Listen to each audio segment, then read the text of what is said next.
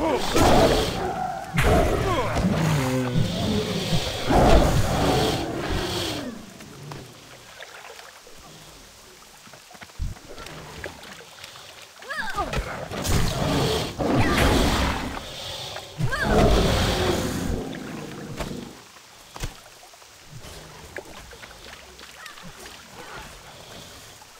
ihr seid mir ein munteres Persönchen.